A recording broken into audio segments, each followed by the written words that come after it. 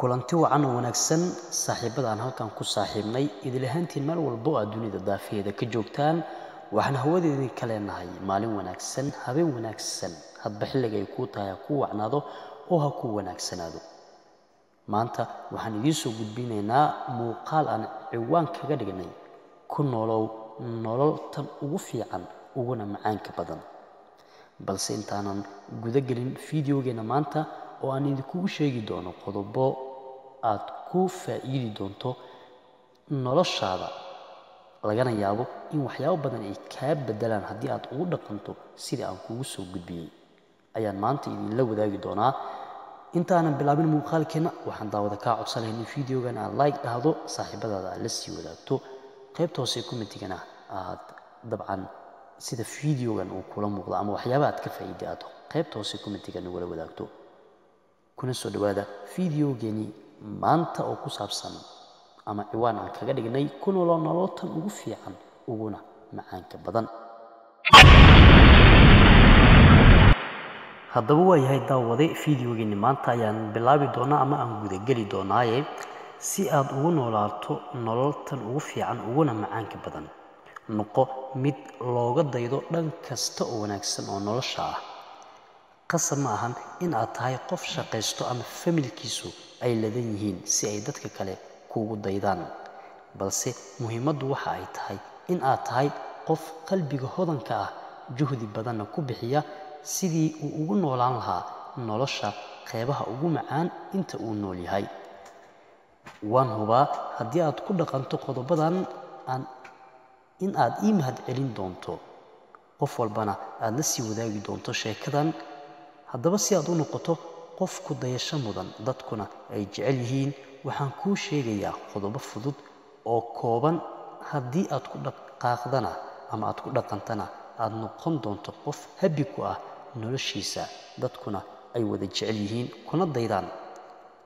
Waxaan filayaa inaad diyaar tahay maxaa yeeley anigu heegan ayaan u ahay in aan kuu soo gudbiyo qodobada aad kaga guulaysan lahayd nolosha qaybaha kuu hadhay waayahay qodobadii ayaan kuu soo gudbin doonaa. Qodobka koowaad waxa uu noqon doonaa noqo qof dhoolla caddayn badan.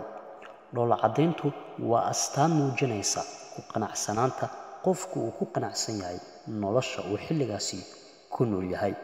Ee haddaba badi dhoolla caddaynta ogowna dhoolla caddayntu waxa ay kuu jebisaa cadowgaaga. Sidee? Maxaa yeelay qofka cadow qofka dhoolla caddaynta badani waa qof dadka kale kasbada qalbigooda. Sidaas awgeed haddii qof cadowgaaga ah uu wax xun kaa sheego cidna kama aaminayso kamana dhagaysanayso sidaas ayuuna cadowgaagu u jabayaa. Qodobka labaad waxa uu noqon doonaa ku qanac nolosha aad xilli walba ku nooshahay.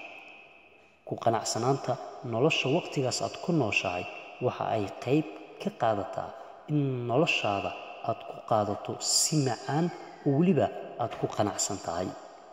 Weligaa ha eegin dadka kaa lacagta badan ee waxaad eegtaa dabaqadda kaa hooseysa taasna waxa ay sii siyaadisaa inaad noloshaada ku qanacdo. Qodobka xiga ee saddexaad waxa uu noqon doonaa jiifka. Sidee? Haddii aad seexato waqti fiican oo kugu filan iyana ama iyadana waa qayb ka mid ah in nolosha ay ku dhadhanto kuna macaanaato. Maxaa yeelay hurdada aad seexato waqti kugu filan waxa ay ku siisaa caafimaad iyo faxfax.